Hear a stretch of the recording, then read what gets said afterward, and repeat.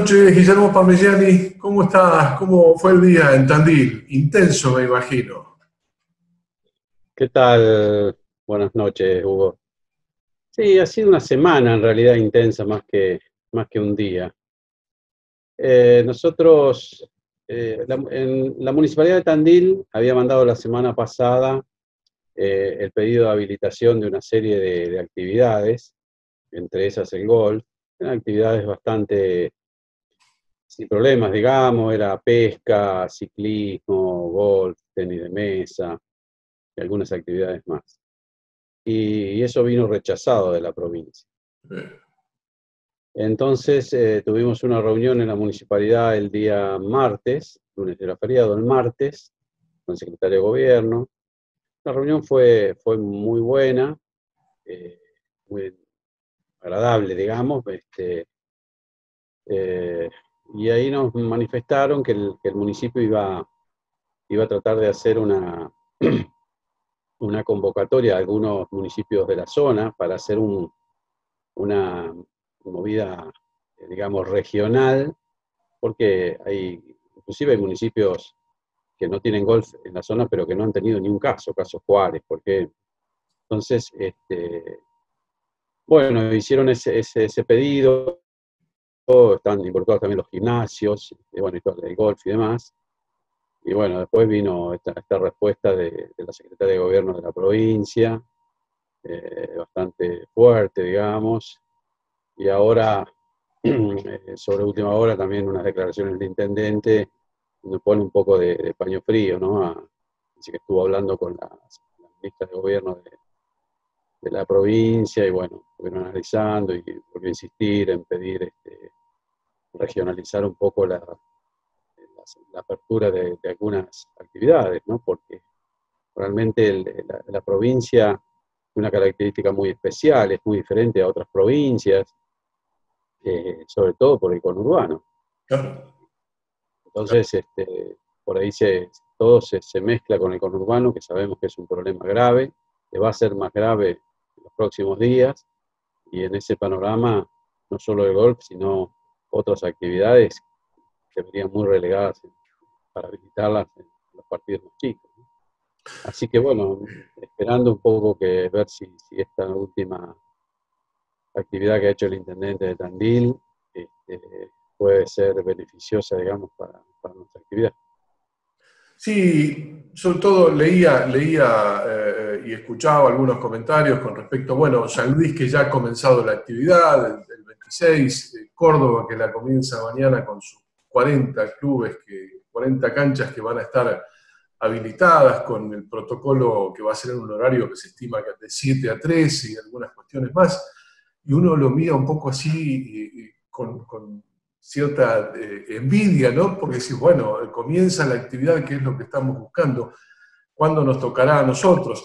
En nuestra ciudad también, de algún modo, hay algunas propuestas a través de, algunos concejales a la Intendencia para hacer eh, alguna prueba con alguno de los deportes individuales, entre los que están en el golf, pero eh, siempre a ciencia cierta lo vamos mirando y nada, nada acontece. Y, y la verdad que se hace duro ya eh, diría que la sociedad en su conjunto está presionando muchas veces para que la actividad no, no va a volver a ser normal, pero sí por lo menos que haya algo de actividad porque hay que, bueno, trabajar, ¿no? Eso es absolutamente necesario.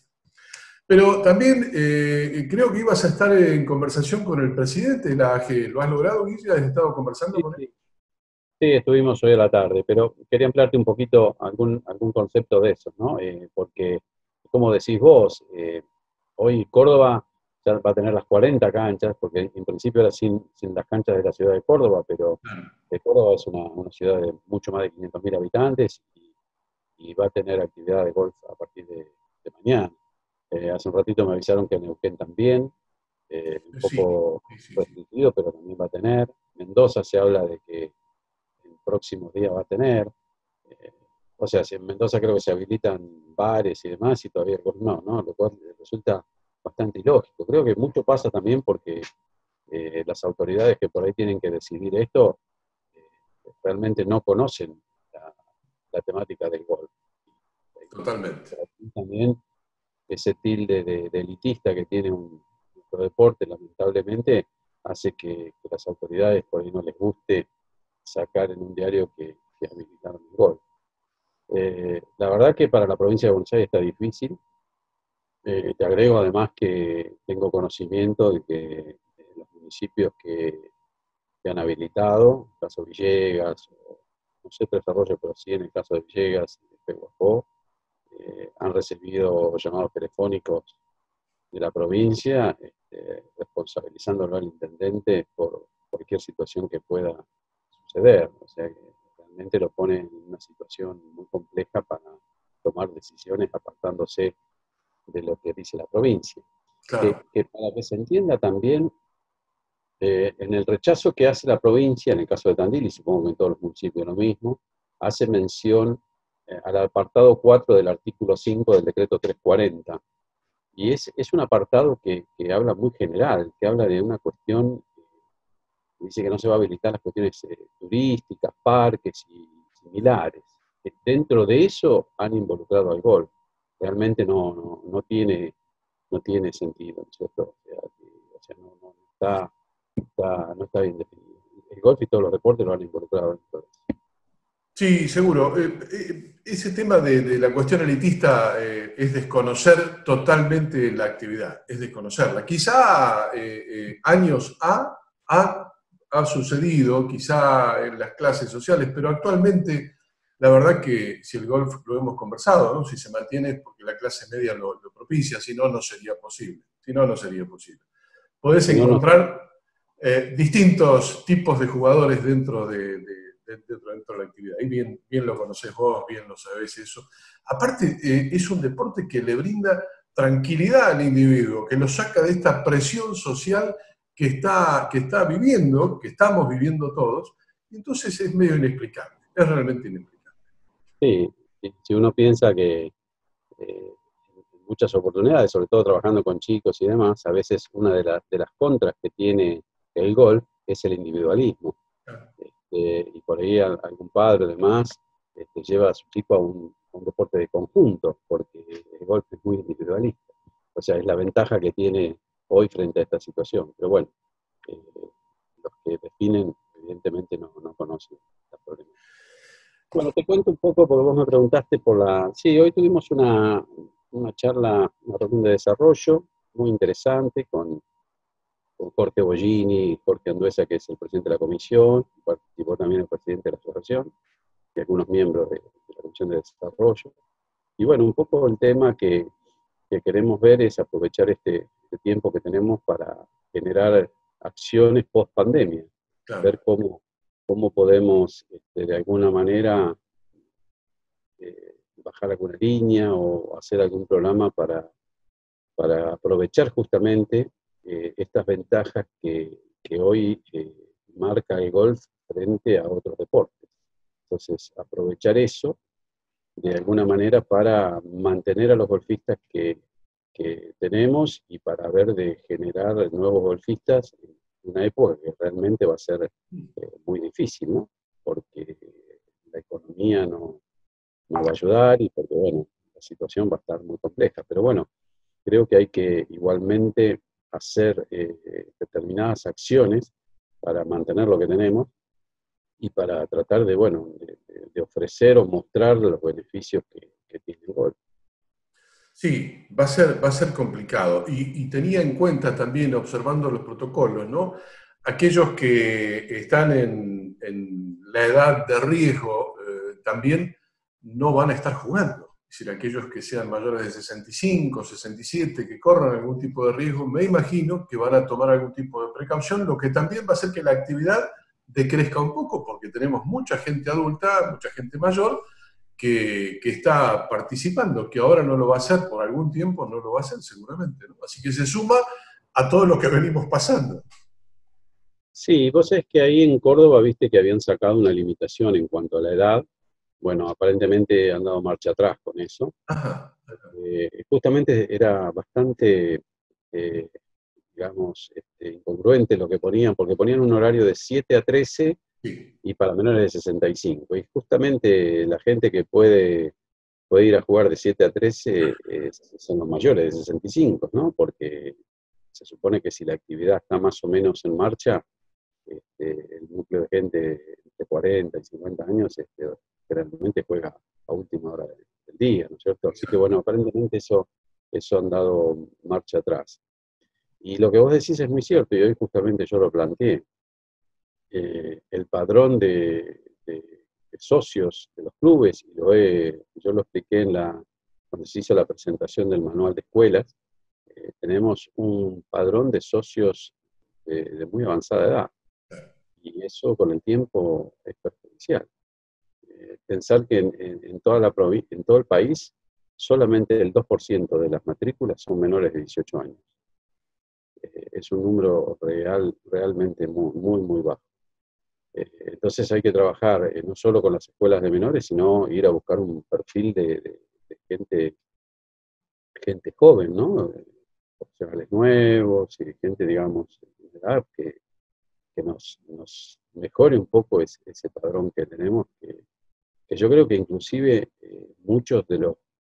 Yo el otro día estuve mirando en la federación y hay este, jugadores matriculados de 98, 99 años, eh, que evidentemente no, juegan. O sea, este, gente que como a esa edad no, no se paga la matrícula, ha quedado con esa matrícula además. Así que tampoco es, tampoco es real ese, padrón que tenemos si miramos realmente los, socios que juegan. Así que me parece que hay que, hay que hacer este, alguna movida importante para, mejorar en cuanto a la, cantidad de jugadores en un momento que realmente va a ser muy, pero muy difícil. Eh, sí, eh, me imagino que esto va a desnudar un poco todo, todo lo que no observábamos hasta el momento con, mucha atención. Al estar ahora, bueno, en una situación distinta, esto nos va a llevar a, indagar un poco más sobre cómo, cómo, está todo, por cantidad de socios realmente activos tenemos en todo el país, qué es lo que se está trabajando en cuanto a mayores y menores.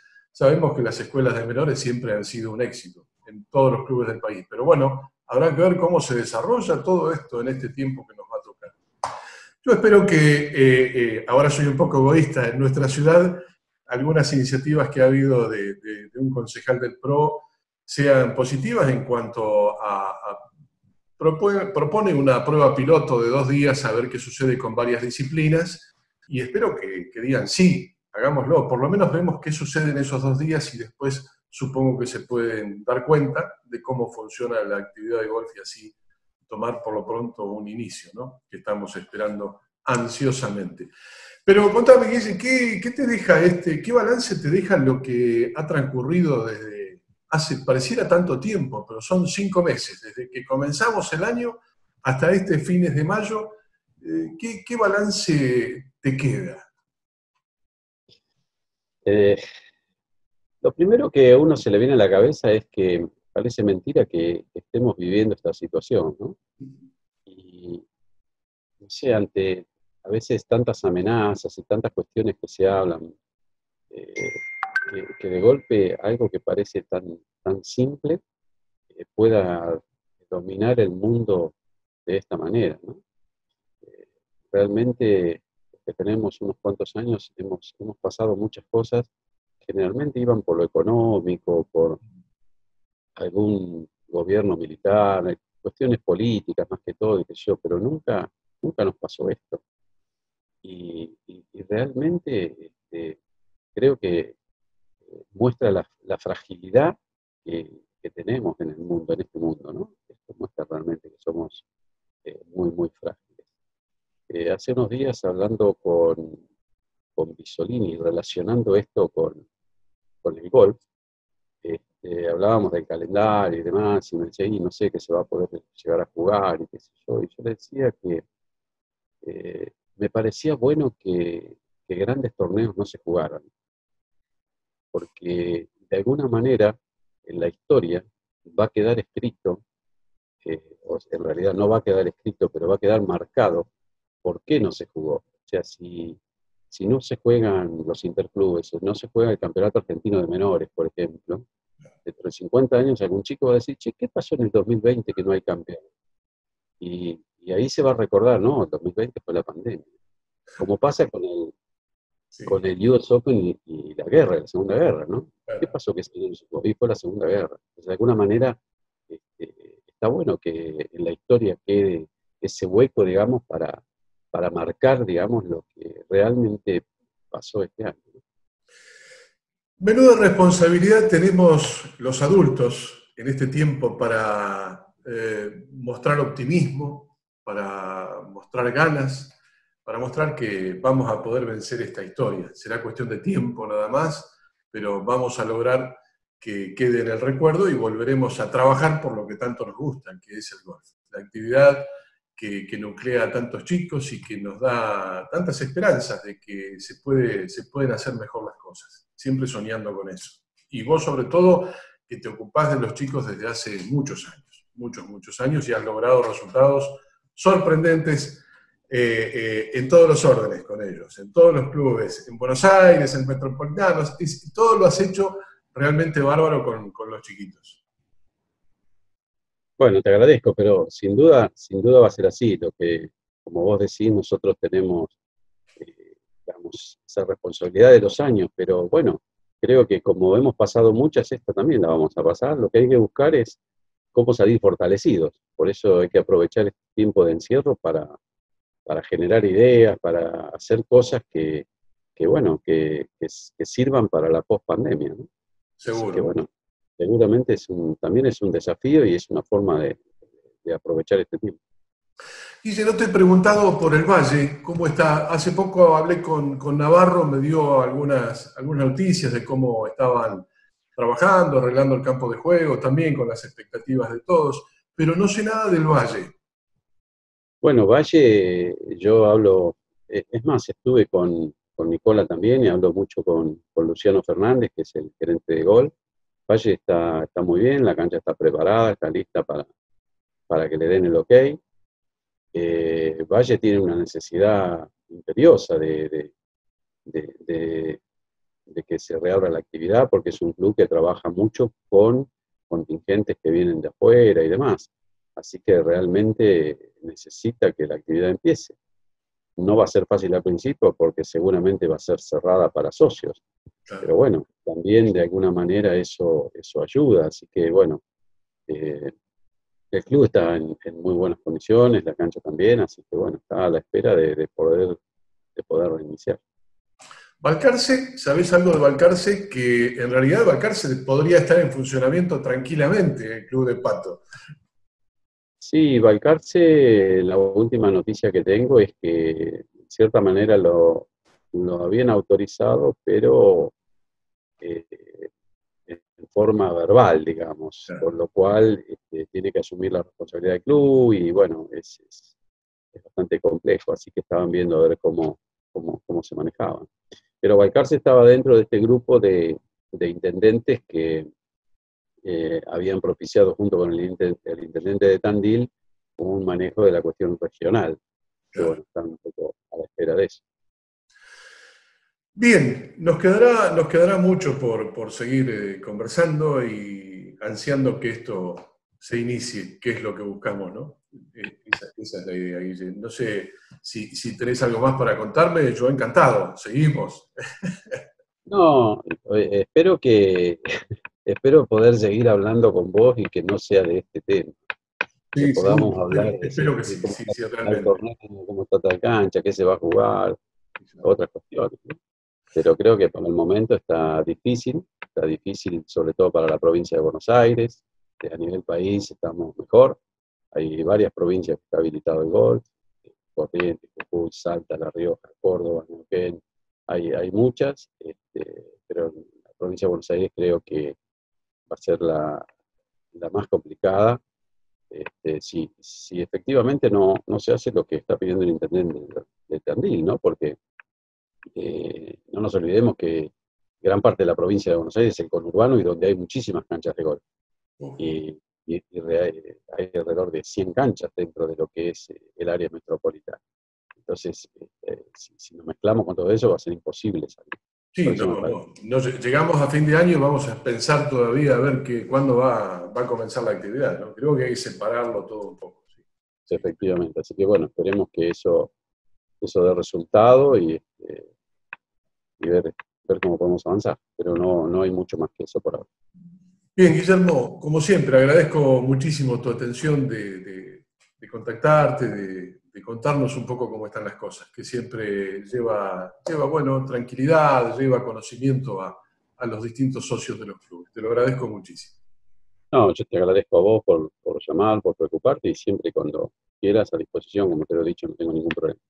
Te mando un abrazo y, a los socios, los socios, por favor, que, que sigan apoyando a sus clubes, eh, es un momento difícil para todos, en lo económico, en todo, pero bueno, los clubes, la única forma que tienen de, de mantenerse y parcialmente es con la cuota social. No tienen ningún club ahí en, nuestra zona ni en el país que tenga eh, recursos sobrantes como para poder este, afrontar esta, esta, pandemia. Entonces necesitan sí o sí del apoyo de, de los socios. Este, ningún club llega a cubrir sus gastos con, la cuota social, pero bueno, hay cuestiones que pueden este, manejar, algunos con los programas TP, eh, también hay menos consumo de algunas cosas, quedarán algo sin pagar, pero que por lo menos este, puedan seguir manteniendo sus, empleados y, medianamente sus canchas para volver. Así que el eh, mensaje, por favor, es que